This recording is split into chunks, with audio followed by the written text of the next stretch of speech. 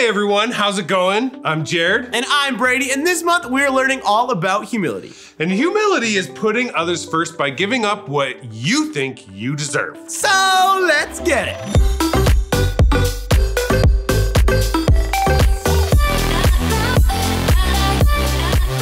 Hey everybody, welcome to Trinity Kids Online. And this week we are continuing our series Community Garden. Well, Brady, I heard that you started a garden. Oh, yeah, I have. What are you growing? Well, obviously, cucumbers. Cucumbers? Why cucumbers? Well, Jared, they're just the best fruit, bro. Of fruit? Yeah. Best? What? Duh, dude, of course they are. What do you mean, duh? How are they a fruit? Well, this is a unique trait that allows us to ex- us to experience gardeners to tell if there's this fruit, they're a fruit or vegetable. Fruit or vegetable? Yeah, Okay, well, here we go. Okay. Are you- please. are you ready? Yeah, I'm ready. Here we go. Well, a fruit distinctly have seeds on the inside, making it a fruit. Oh, well, that was actually pretty simple, but that still doesn't answer why cucumbers are the best ve- veg fruit. Well, because obviously, Jared, they make pickles. Oh, pickles. Yeah. You you could just say maybe uh, you know what? Cucumbers isn't really the right answer. Maybe I should just say that pickles are the best fruit. Uh, there you go. I'm not sure at that point you can call it a fruit anymore, though. what? Really, Jared? Come on. Fine, enjoy your pickle fruit, Brady. Yes. All right, and with that, it is time for Challenge time! yeah, it is. So, what are we playing today, Brady? We are playing match the fruits and veggies. Oh, good. I love a good matching game, you know? yeah, me too. So it's time to go grab your parents, siblings, grandparents, uncles, aunts, cousins, and get everybody in here for this matching fruits and veggies. All right, well, let's get it.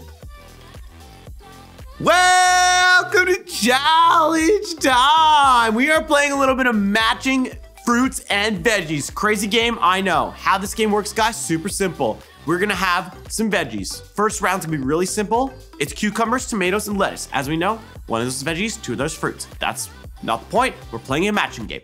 So you guys are gonna have to find the matching pairs on the screen. You will see vegetables, match them. They're gonna see them. You're gonna see them for about let's say you gotta see them for five seconds, and then you're gonna have 10 seconds to figure out where they all are hidden and match them up, and then you'll see the answer. Are you guys ready? Here we go.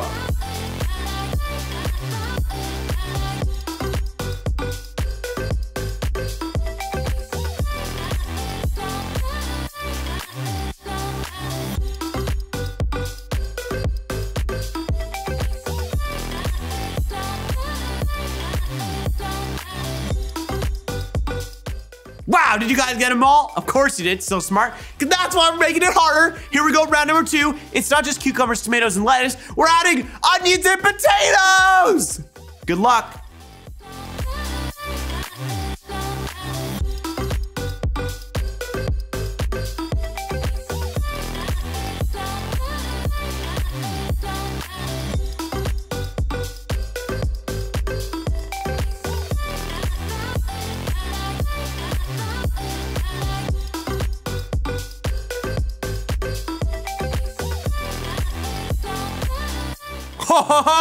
That was a little bit harder, hey? Well, here we go. Final round of Omega matching vegetables and fruits. Here we go. You got cucumbers, tomatoes, lettuce, red onions, potatoes, carrots, and strawberries! Go.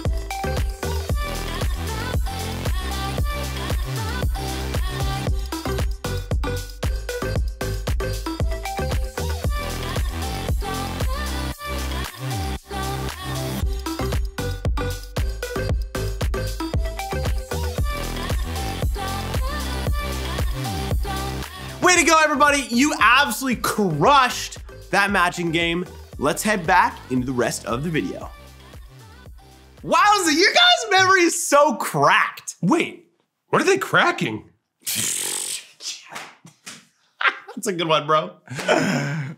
But I don't get it. How can your memory be cracked? Well, Jared, it just means that their memory is like insanely good. What? I, okay, I guess that makes a little more sense. Well, I'm glad now that you understand because now you can kind of be hip with the kids. Oh, thanks, Brady. I really needed this today. I'm glad I could help. And speaking of helping, that's what we've been talking about all month. Exactly. So why don't we go check in at the Story Lab with Skylar and Sebastian? Oh, yeah, let's go. It's good. Thank you. No problem. Welcome to Story Lab. This week, we're talking about humility, while we take a look at an amazing letter written from prison.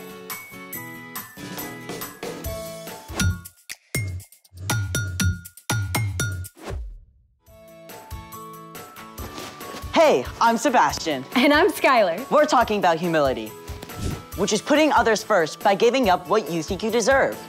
I think one of the best ways of putting others first is by helping them eat well. Mmm, like a box of fudge rounds. I was thinking more of tasty veggies. My relationship with vegetables is complicated. How about this vegetable? Are you for real? Yep, world's heaviest carrot, according to the Guinness Book of World Records. That's gonna need a lot of ranch. Then there's this. World's biggest cabbage? Yep, Uh, It's like part of some prehistoric jungle. I feel like we should see some dinosaurs roaming past it. speaking of which, It's a Vegisaurus! world's largest mixed vegetable sculpture. Amazing. Slightly terrifying. Our guest today knows a thing or two about veggies. He builds with them? Nope, he grows them. Great. I'm ready. Hi, Phil. We're so excited to talk with you. Hi guys, hey, it's good to be here. Can you tell us a little bit about what you do? Sure, I run Sheriff Farms, which is a small market garden that supplies an average of 40 baskets a week, all four seasons of the year to our 65 families. Wow. What's your farm like? Well, it's a very intense little farm. It's a one quarter acre if you do the math of how much we actually grow on. But we grow all major food groups. That's what makes a market garden a market garden. It has a variety of crops, a great diversity of crops, and we grow them all. Everything from broccoli and cabbage and beets and carrots and lettuce and kale and bok choy, onions and garlic, and a lot more. So, any watermelons? No watermelons. The watermelons would cover this entire garden. So, you have a special plan of what you plant? Absolutely. I can tell you what I'm planting next year and where I'm going to plant it. We rotate our crops every year into a new space. And so ideally, the same crop isn't planted for almost eight years if I'm managing the garden well. Wow, that's a long time. Okay, it's easier on the soil and allows the garden to produce very well. A good garden is always giving back to the environment. So, it's like you have to get to know your dirt. Yes, and that's where it really gets fun because in the creation story of Genesis, God tells the earth to bring forth vegetation. I'm always amazed at how the ground can adapt and respond to good care and love with such energy and life. Like this. So, farming is really a lot of hard work, right? I do work hard, but you know, everyone works hard. I get to choose the times when I work hard. All the vegetables you provide are such an amazing way to serve the community. Well, I'm glad I can do my part. But really, I'm only one gardener. In fact, that's how I sign my emails to my updates of my customers. One of you gardeners. How's that? Well, I love it when people come to my farm to pick up their produce for the week, and they can see where it all comes from, and they can see the person who's actually involved. But in reality, most of our food comes from people that are laboring, whose names we don't know, whose stories we'll never hear, and they have to work under tough conditions. Wow, I never thought about that. Those people are out there in the dirt, they're working in the cold, they're working in the heat, they're working when it's raining, they're working with the frost on their hands, maybe their gloves aren't working that day, but they don't get to pick the days they get to choose. I feel like I should go find a gardener and thank them right now. Well, that's a great way to think about it. No matter what we grow up to be, there's always someone out there working in all kinds of weather conditions and living conditions to provide food for our families. I am so going to look at my food differently. I hope so. Well, thank you so much for being on here with us, Phil. It was a pleasure seeing you all, and I hope we all have a great day. Bye, Phil. Bye. I want a giant, colorful salad right now. As long as there's plenty of this. I love how Phil reminded us to pay attention to those growing our veggies behind the scenes. yeah. Now it's time for. The story before the story. Today, we're in Philippians, the 11th book in the New Testament. Philippians is a letter written by the Apostle Paul to the young church he started in the Greek city of Philippi. But before Paul, way back in the beginning, out of a deep, deep love, God made an amazing world. But when people turned away from God, the world was broken. God made a plan to draw people back into relationship. So at the right time, God's very own son, Jesus, came to live among us. When Jesus grew up, he traveled from town to town, teaching and healing. But the religious leaders made plans to get rid of him. Jesus was crucified on a cross and died. But early Sunday morning, Jesus returned to life, and lots of his friends saw him. Which is where our story starts. Hey everyone, I'm Chloe. Hi, Chloe. For 40 days after his resurrection, Jesus spent time with his friends. Then he returned to heaven to be with God. But the news about Jesus spread. More and more people began to follow Jesus, including Paul. Paul traveled all over, starting brand new churches. On one of his journeys, he spent three months in the Greek city of Philippi, where he shared the news about Jesus with a businesswoman named Lydia. Lydia welcomed the new church to meet in her home, and it grew quickly, even after Paul was thrown in prison. Paul was released and continued his travels.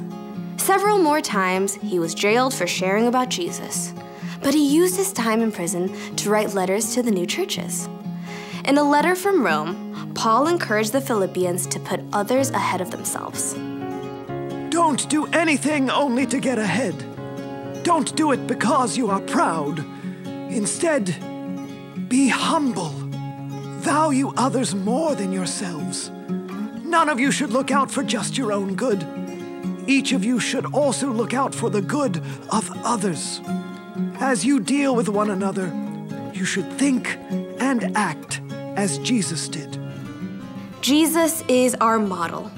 Like the Philippians, we can begin to think and act like Jesus. So let's take a look at some of the things Jesus did. Jesus showed humility by always talking to God first.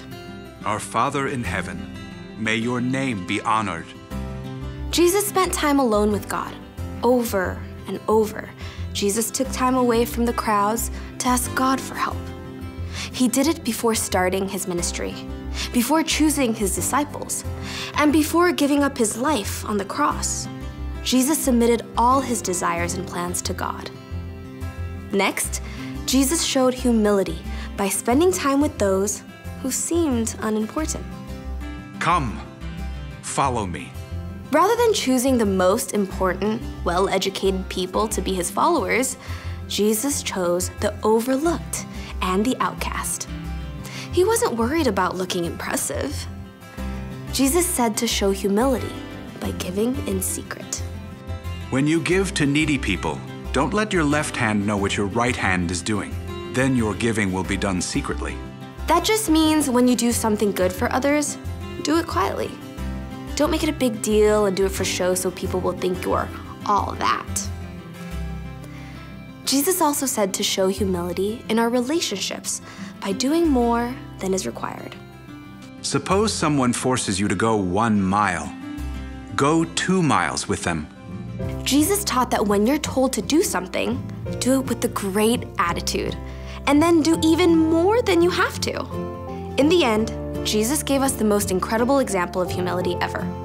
Paul wrote In his very nature, he was God.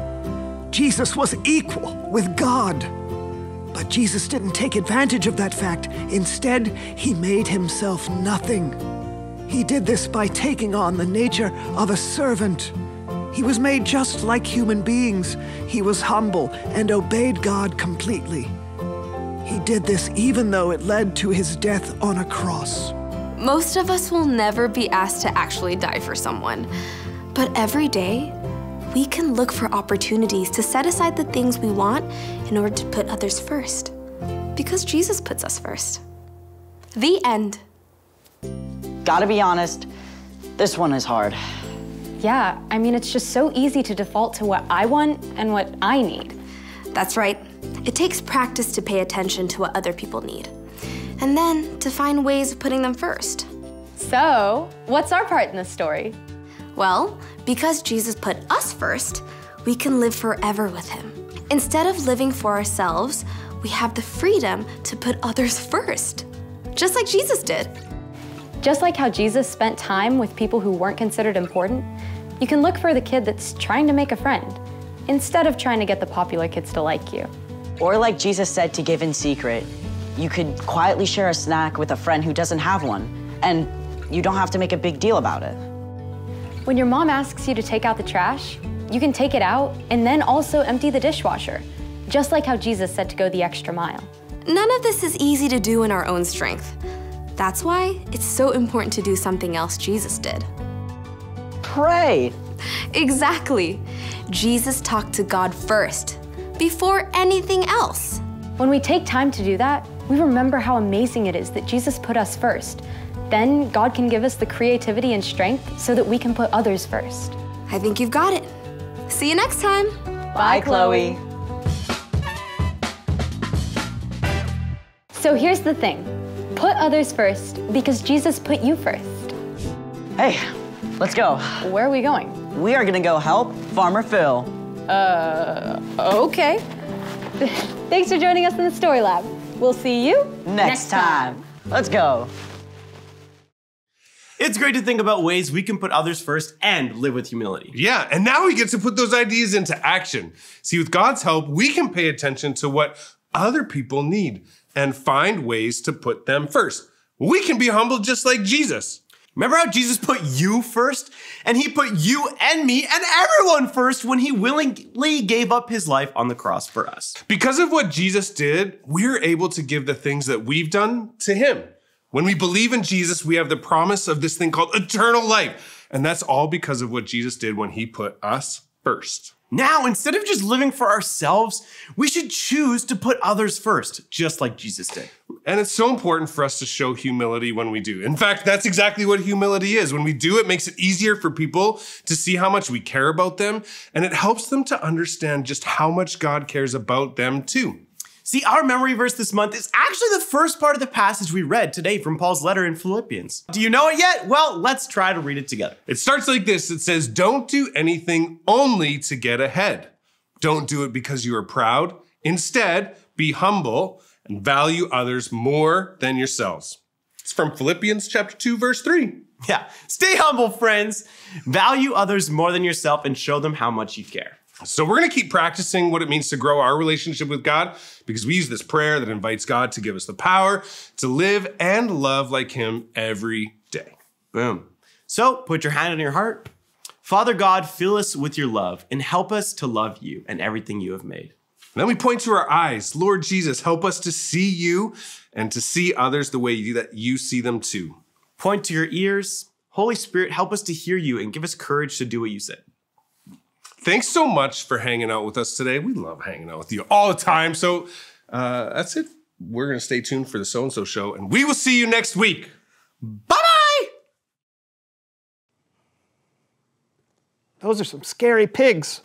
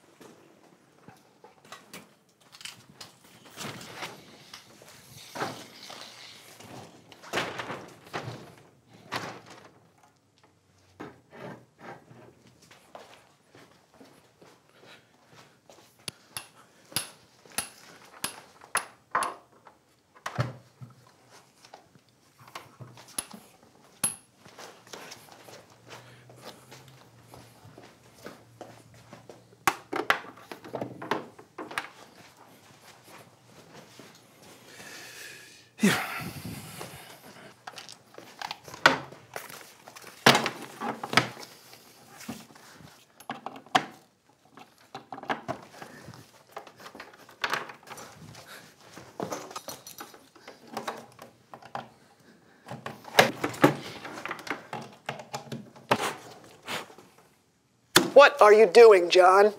Ah, I'm going green. That's not gonna work. Oh, it's a power plant.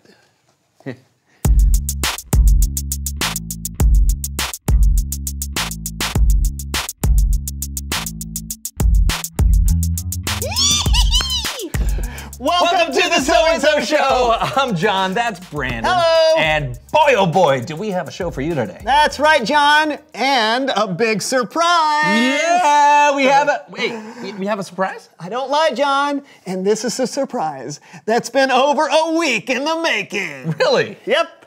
Oh. I, I, are you gonna give me a clue or something about what it is?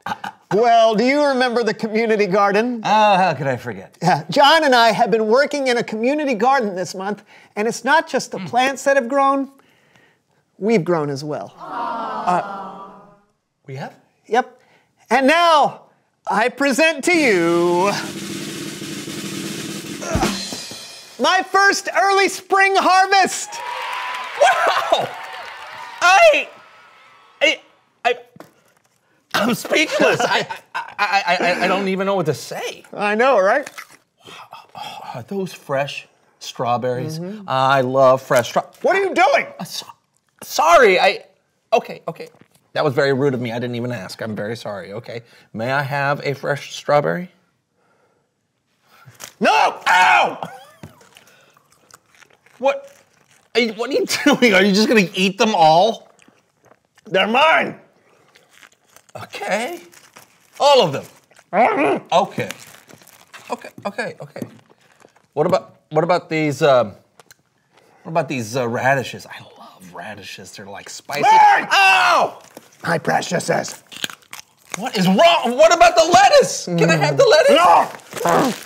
Kale. Kale. The kale's good. No. What about what about the grape grapefruit? Oh, man! So are you telling me that I can't try any of it? No! Then why did you bring it in here, Brandon? I wanted you to see all my hard work. What? You could have just shown me a picture if you didn't want me to eat any of it. That wouldn't do it justice. Oh, oh, I'll show you justice. No, no, I said. Give me Get that's mine! My apple! Ah. Oh, oh, oh. No! No! No! What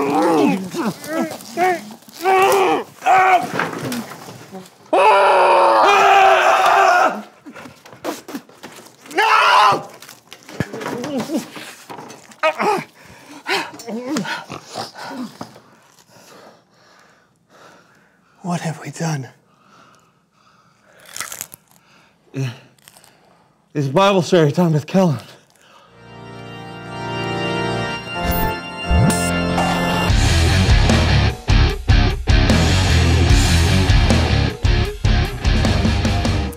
I must say, that is one way to eat your vegetables.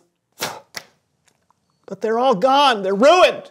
Well, can't you grow anymore? Well, I mean, this is just the early spring harvest, the first wave, if you will. there should be more stuff coming in a little later. Good, good. Then what are you going to do with all the food? Sounds like there's going to be way too much food for you to eat alone. Huh. I don't know. I haven't thought about it. Well, maybe today's story will give you some ideas. Take it away, Kellen. Today's Bible verses come from the book of Philippians, which is a letter written by the Apostle Paul to a church he started in the Greek town of Philippi. Now, Paul wrote many letters to churches, mostly when things were not going well at that church. But he wrote to the church of Philippi when things were going great. And he wanted to encourage them, but also warn them about a few things. Here's how he begins this part of the letter Don't do anything only to get ahead. Don't do it because you are proud. Instead, be humble. Value others more than yourselves. None of you should look out just for your own good. Each of you should also look out for the good of others. Paul was saying that we shouldn't just think about our own wants and needs. We should think about the needs of other people too. We should be humble. And here to help us remember just that is the Cheer Squad. Yo, yo, Jackie. What up, Dee Dee? Well, what you want to tell these folks around here? Girl, listen to this.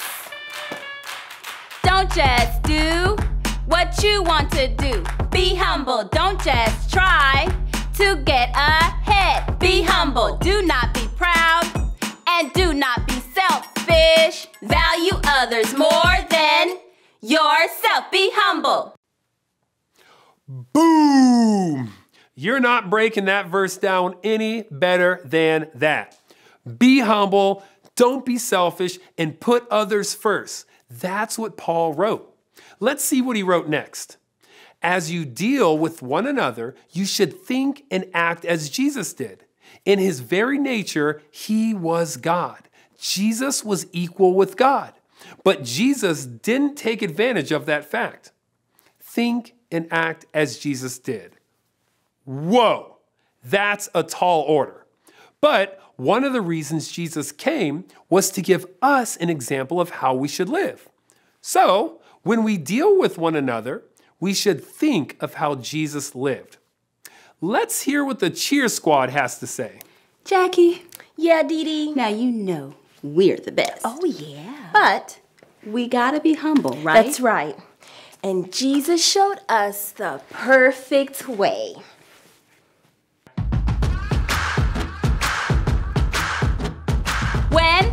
Someone needs a friend, think and act like Jesus did.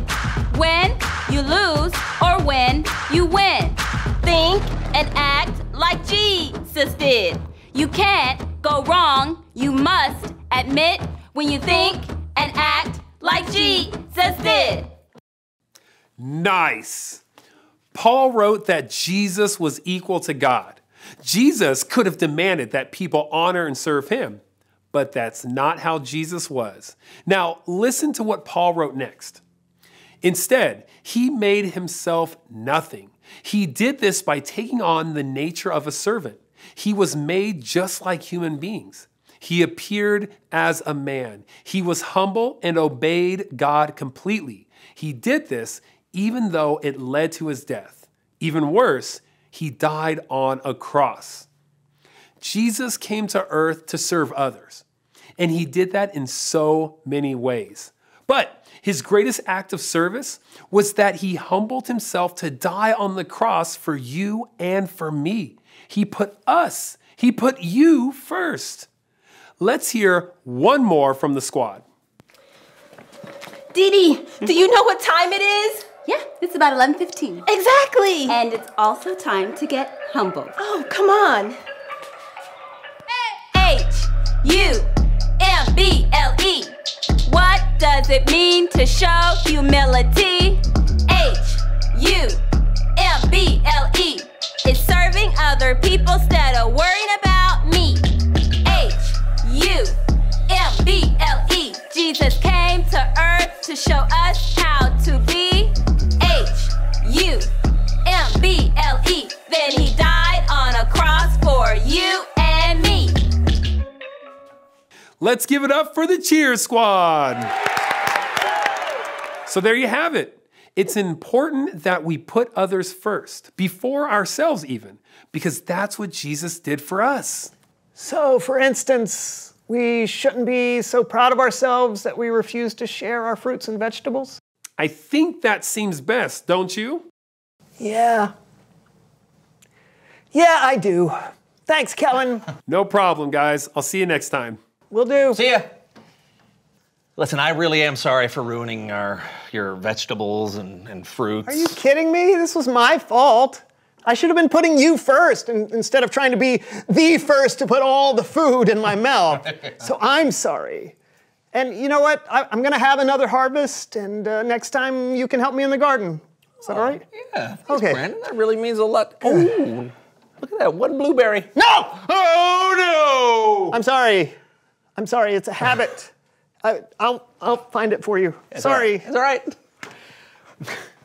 Reveal the question. Oh, okay. So, what are some ways you put others first? It can be as simple as holding the door for someone, or just asking how their day is going, or, or actually stopping what you're doing and helping someone who needs it. Yeah, you can also listen to someone and hear what they're saying instead of just waiting for your turn to talk. Yeah. And usually, when you listen, you can see how to best help. Mm-hmm. Here you go. Oh, well. I guess that's the show. Yep. Oh, how is it? Oh, so good. You can barely taste the floor. Yes.